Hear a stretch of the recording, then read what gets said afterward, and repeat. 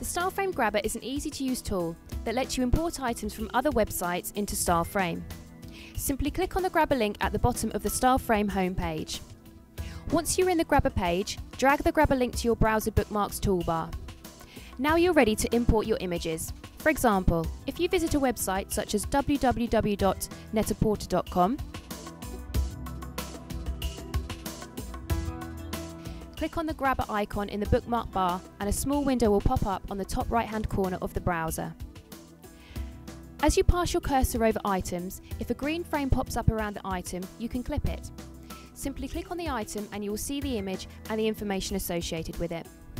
You can then give the item an appropriate tag, such as bracelet, dress or handbag for example, check the price and hit save on the small window.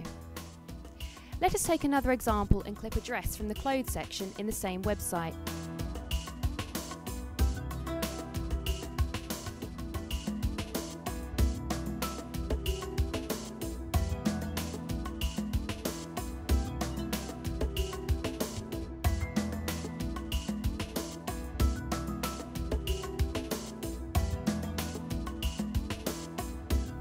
Two images we grabbed will then appear in your My Items section of StyleFrame.